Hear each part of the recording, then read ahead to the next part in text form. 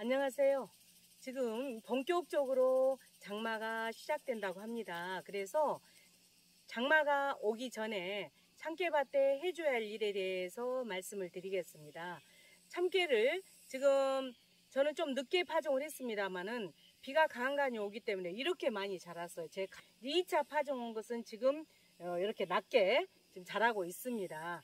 비가 많이 오게 되면은 참깨는 습한 것을 싫어합니다.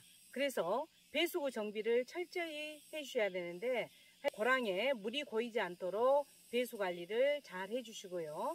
다음에는 장마가 오고 그러면 굉장히 습도가 높아집니다. 그런데다가 지금 현재 폭염 더위까지 겹쳐 있습니다.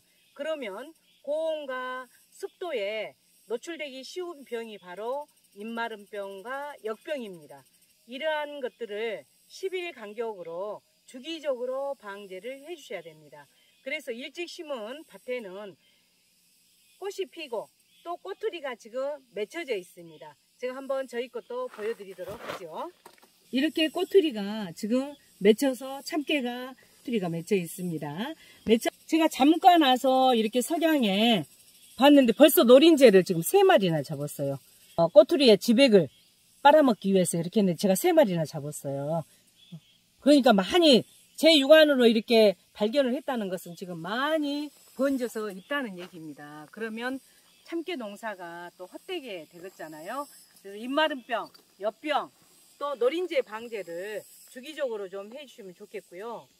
노린재는 이 애들이 아침에 이렇게 딱 축축한 이슬과 함께 많이 앉아서 어 이게 빨아먹고 있습니다. 그래서 노린재는 약을 직접 노린재에다 딱 치면 죽지 그렇지 않고는 다 날라가 날라갔다 다시 돌아오거든요.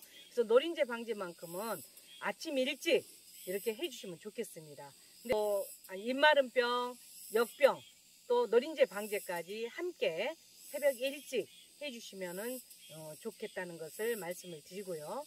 또 이제 장마비가 어, 국지적으로 굉장히 또 심하게 올 수가 있고 그러기 때문에 이 참깨들이 쓰러질 염려가 있어요. 특히 꽃이 핀 다음에 참깨가 쓰러지게 되면은 알이 잘 차지를 않아요. 그렇기 때문에 이때 쓰러지지 않도록 반드시 줄을 매주셔야 됩니다. 그래서 저는 일단 줄 매주기를 해줬고 또 2단 줄 매주기를 지금 했습니다. 참깨가 많이 자랐기 때문에 그래서 여러분들한테 강조하고 싶은 건 뭐냐면은 양쪽에 가에다가 참깨 지주대를 이렇게 설치를 해가지고 가해로 쭉 쳐준 것은 기본이고요.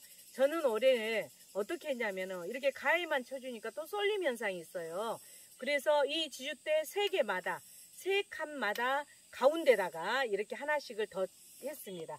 이렇게 가운데에다가 해줬거든요. 해줘가지고 가운데다가 쏠리지 않도록 해주었습니다. 그러면서 세 개를 쳐준 데는 이렇게 횡으로도 엮어서 해줬습니다. 그래서 이 가운데에다가 아니라 중간쯤에 하나 해주고 또 키가 많이 크니까 이렇게 윗칸에다 이것 또한 2단으로 쳐줬습니다. 지금까지 참깨를 잘 길러 오셨기 때문에 앞으로 태풍과 또 장마 이런 걸 대비해서 어, 관리를 잘 해주시게 되면 올해 참깨 다수확을 하실 수 있을 겁니다.